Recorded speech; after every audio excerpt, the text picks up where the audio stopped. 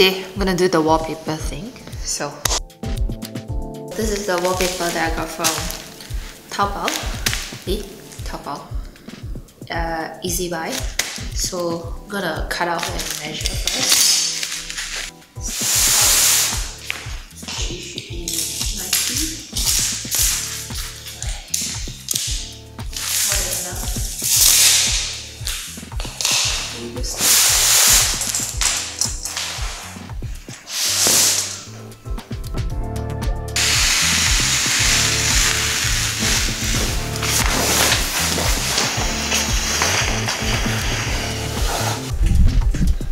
Got the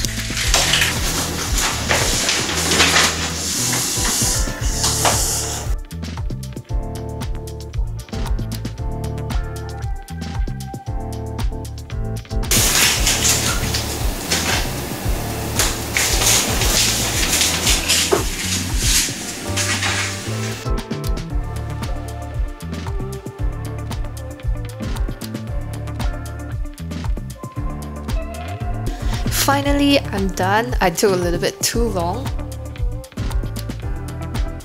Oh my god, I took 3 hours to do this 3 sliding doors when I could have done it in an hour.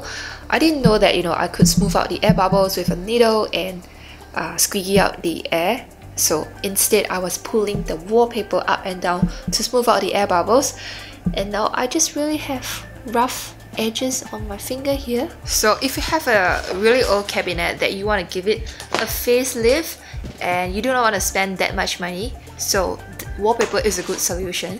You can get it for really cheap. I think I did three doors for less than $50. The only thing that you need to do is paste it on yourself.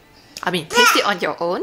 and yeah, feel free to ask me any questions that you have. And thank you so much for hanging out with me in this video. I will see you in the next video. Bye.